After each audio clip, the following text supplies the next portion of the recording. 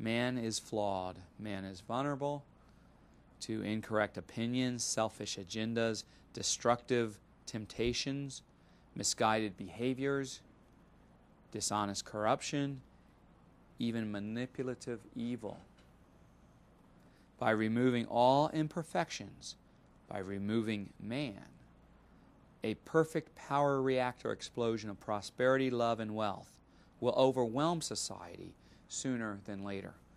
The problem in all political and legal systems ever known to man is they are all directed and interpreted by man. The American political system, for instance, whether liberal left or conservative right, in both cases is directed and interpreted by man, by flaw filled imperfection.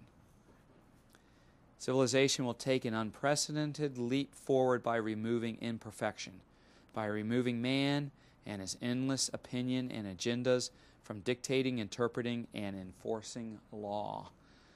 The method to remove man is the prime law.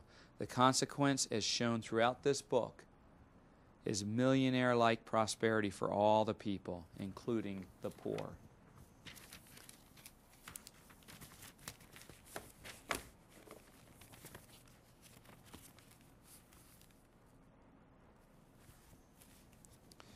Once we recognize and remove the inherent problem of man as a flaw filled being, easily influenced by power and money, then ordinary people will become wealthy, even the poor, as we will see in this book. Um, positions of ruling class power must be taken out of the hands of man. The freedom and prosperity of any country will steadily decay with man both dictating and interpreting the law. On the other hand, the freedom and prosperity of countries throughout the history soar as man is removed from the political controls. Our own country soared as we removed the rule of man, a monarch. To complete the evolution universal into universal prosperity, the powers of the, legislature, of the legislature, judicial, and executive branches must be taken from the opinions and agendas of faulty man and put into a fundamental prime law. If you take 100 well educated men and women and ask them thoughts on important current events, they will bombard you with many different opinions and agendas, as exemplified by the U.S. Senate. Moreover, once in positions of political power, surrounded by the trappings of power and wealth, their answers will be directed for their own benefits, for their own political clout.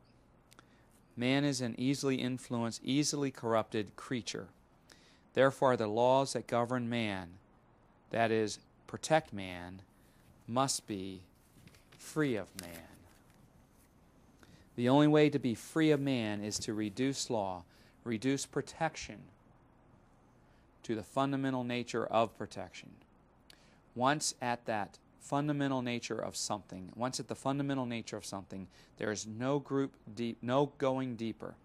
All the opinions, agendas, illusions, dishonesties, and corruption, all man's faults, no longer matter.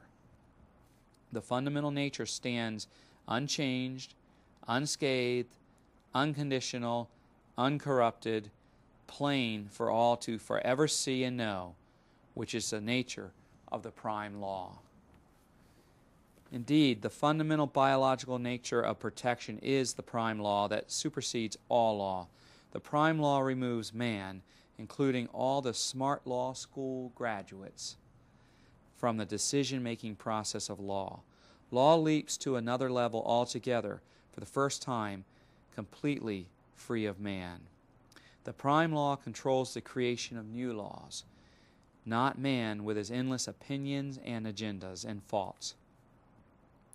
The fundamental nature of protection, the prime law, controls the interpretation of laws, not man with his endless egos, selfish desires, and many flaws. The prime law controls the enforcement of laws, not man with his intoxicating power, rampant dishonesties,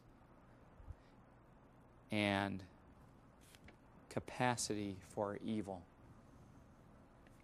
When the prime law removes man from creating, interpreting, and enforcing law, something amazing happens. The heavy and corrupt ruling class of man comes off society. Society and technology soars. The great technological revolution takes off and causes our buying power to multiply a thousandfold, making everyone rich, including the poor.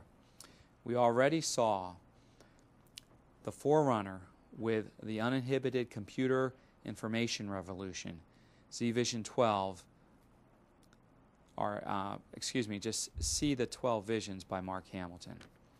Uh, let, let us now introduce a new political party with a sole objective to remove man from creating, interpreting, and enforcing law in order to make all people wealthy, including the poor. Instead of man governing our country, the fundamental nature of protection, the prime law will govern. The name of that new political party that removes man from governing, removes the ruling class, is the 12 Visions Party.